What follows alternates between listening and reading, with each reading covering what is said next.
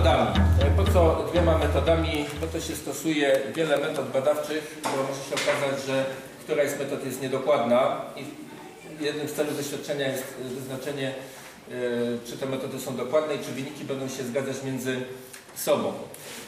Pierwsza metoda opisana tutaj w pierwszej tabelce tej karty pomiarowej jest to metoda bezpośrednia, czyli pomiar taki jak w gimnazjum, czyli trzeba zmierzyć tą bryłę i zważyć.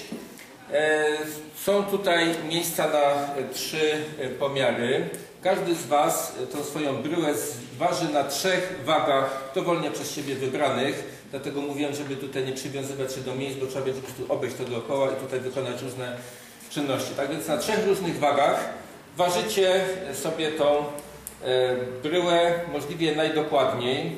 Starać się zważyć ją z dokładnością do jednej setnej grama, w jaki sposób się e, waży. Niektóre z tych wag mają tutaj takie pokrętło i one w stanie spoczynku są, mówimy, zaaretowane, czyli tutaj e, te szelki są A opuszczone. to czyli jak y, teraz sobie ustawimy, żeby było na równym, to wyjdzie do góry i też będzie równe.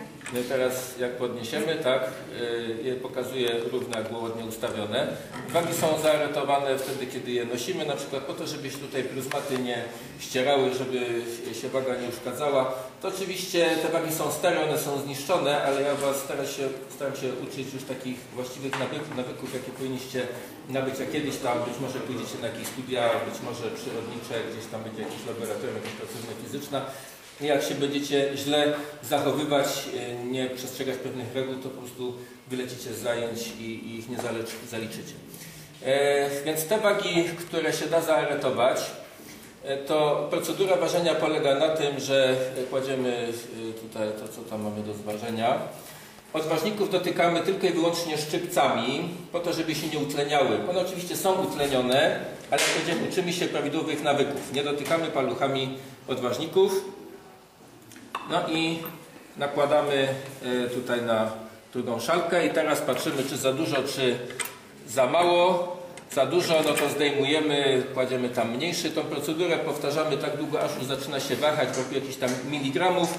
Jak brakuje miligramów, to już bez aretowania sobie te miligramy tam odpowiednio e, wrzucamy i patrzymy.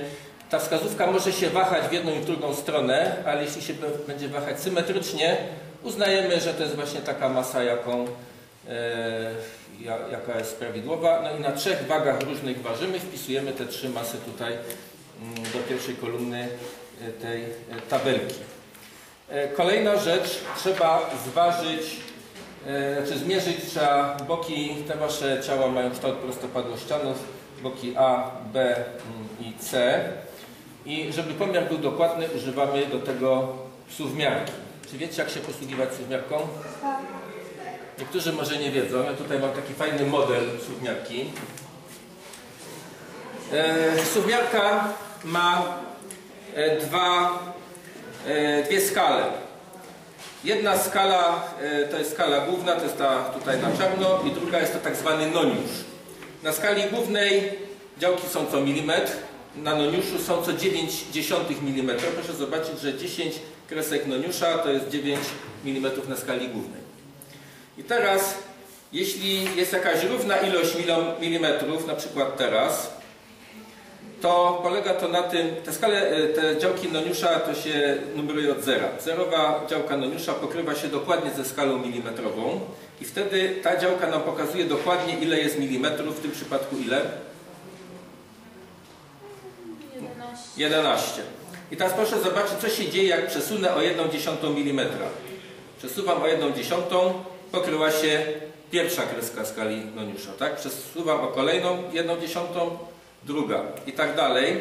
Czyli dziesiąte części milimetra odczytujemy na podstawie tego, która kreska noniusza, licząc od zera, pokrywa się dokładnie z działką milimetrową. Czyli na przykład jak mam coś takiego, o zaraz weźmy sobie coś takiego, proszę odczytać ile teraz jest. 19, Ile? Ile całych milimetrów, ile dziesiątych? 11, 19, Ile jest całych milimetrów? 15 milimetrów i i 9. raz, dwa, trzy, cztery, przecież tu się pokrywa, nie? I cztery dziesiąte. No właśnie. I teraz proszę zwrócić uwagę. E, podajcie mi e, sugerkę tam jakąś. E, o, dobra. Którakolwiek, e, jaki to był prostopadłościan, o tamten. Mierzymy każdy z boków w trzech miejscach. Dlaczego w trzech miejscach? Bo nie mamy pewności, że to jest prostopadłościan. Musimy się o tym przekonać. Czyli któryś z boków nazywamy sobie A, któryś B, któryś C, obojętnie który, bo i tak mnożymy i kolejność czynników jest obojętna i powiedzmy to jest A. Mierzę sobie z tej strony, w środku, na boku. Tak? Wpisujemy tam, gdzie jest A, trzy pomiary odczytywane z dokładnością do 1 mm. Bok B z jednej strony, w środku, na boku. Bok C znowu gdzieś tutaj, z drugiej strony gdzieś w środku. I to są trzy pomiary boków C. E, W pierwszej kolumnie macie teraz zdążyć e, zmierzyć cztery rzeczy, to znaczy masę i te trzy boki. Wszędzie indziej, gdzie są już znaki równości, gdzieś tam to są kolumny, które sobie przeliczycie w domu. No i liczycie tam trzy gęstości, z tego wyliczacie średnią. Druga metoda, jeszcze to sobie wezmę, e, jest to metoda hydrostatyczna.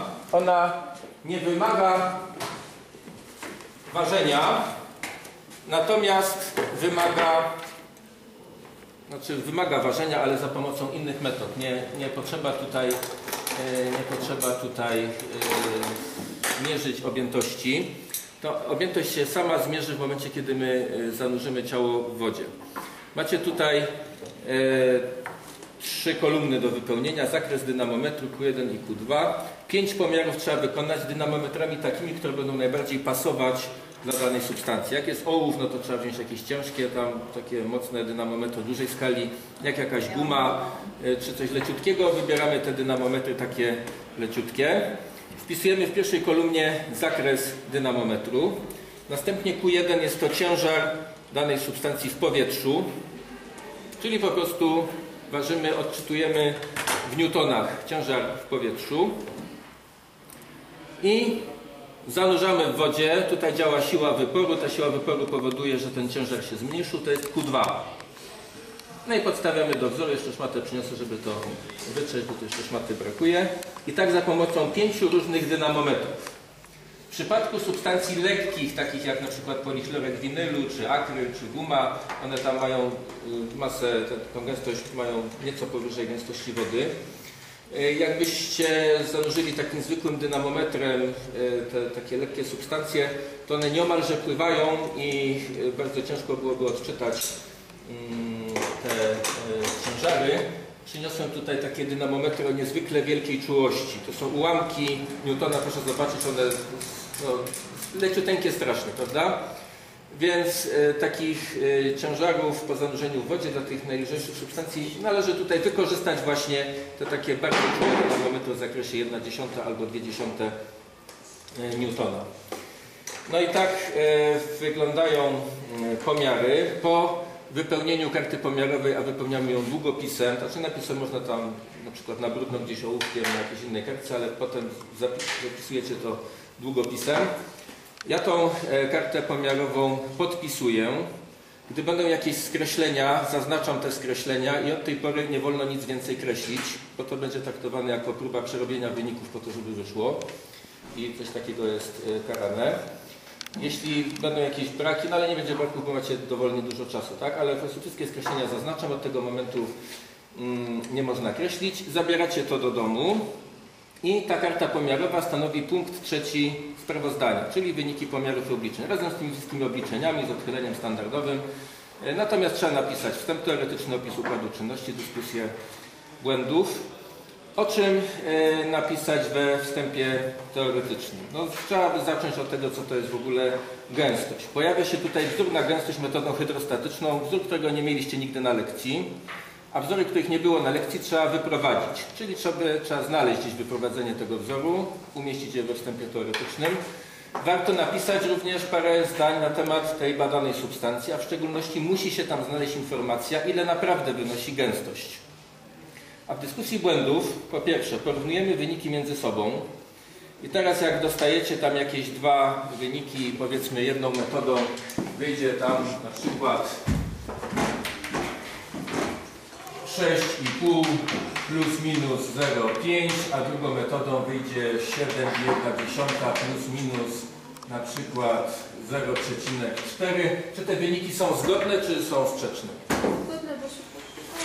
No właśnie, można sobie zrobić na osi, powiedzmy zaznaczyć tutaj 6,5, tak? To znaczy, że jest od 6 do 7 to jest jeden zakres, a tutaj mamy, weźmy sobie inny kolor, tutaj mamy 7,1 plus minus 4 dziesiąte, czyli od 6,7 do e, 7,5, tak? Więc jeśli te przedziały mają część wspólną, to znaczy, że wyniki sobie nie przeczą i z tego się należy cieszyć. Jak obszary są rozłączne, jest to powód do zmartwienia, ale przede wszystkim powodem do zmartwienia jest, jak się Wasze wyniki z tym marginesem błędu, jak w, ty, w tym wyniku z marginesem błędu nie znajduje się prawidłowa wartość, którą należy sobie znaleźć w internecie, w literaturze. Każdy musi się dowiedzieć, ile naprawdę wynosi ta gęstość. Jak Wam się ta gęstość będzie zgadzać, no to wtedy jest szansa na maksymalną ilość punktów i wtedy e, w dyskusji błędów tylko piszecie, że się udało i ewentualnie jakie czynniki e, wpłynęły na to, że ten wynik był taki, a nie inny. Im bardziej Wasza średnia będzie odbiegać, średnia z tych średnich z obydwu tabelek będzie odbiegać od wartości prawidłowej, tym bardziej się trzeba tłumaczyć z tego, co się zrobiło źle. E, No, na ogół jest to jeszcze tam do uratowania jakoś, natomiast y, im bardziej ten wynik będzie rozbieżny, od tego wyniku zależy również ocena. Ocena z tego sprawozdania zależy i od tego, czy dokładnie zmierzyliście, trzeba się tutaj przyłożyć, i od tego, czy, czy to sensownie opisaliście, wyciągnęliście prawidłowe wnioski. Jest to doświadczenie e, nieobowiązkowe, w związku z czym nie obowiązują po pierwsze jakieś terminy, kiedy to trzeba oddać. E, Druga zasada jest taka, że jeśli zwrócę do poprawy takie sprawozdanie z powodu jakichś znalezionych błędów, nie potrącam za to dwóch punktów, tak jak to jest w przypadku e, e, obowiązkowych doświadczeń. E, I trzecia e, zasada, która tu obowiązuje, że można nie chcieć oceny, jak ma zaproponuje, jeśli Wam się nie spodoba. Czy macie jakieś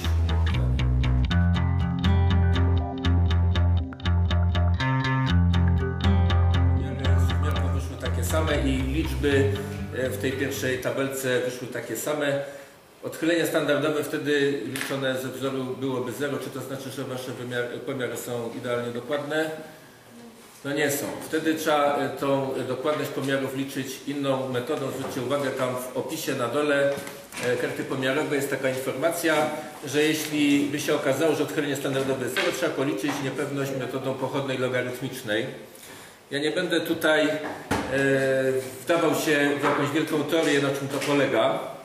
Każdym razie, jeśli e, mierzymy tutaj pewną wielkość złożoną, tak, czyli li- mierzymy coś innego, podstawiamy do wzoru.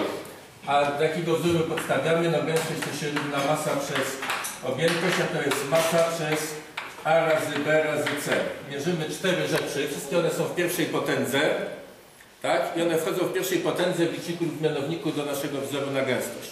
Otóż teoria pomiarów, której nie chcę tutaj zbytnio e, się w nią wdawać, mówi, że niepewność względna takiego pomiaru delta rho przez rho to będzie niepewność pomiaru masy względna plus niepewność pomiaru pierwszego boku plus niepewność pomiaru drugiego boku plus niepewność pomiaru trzeciego boku.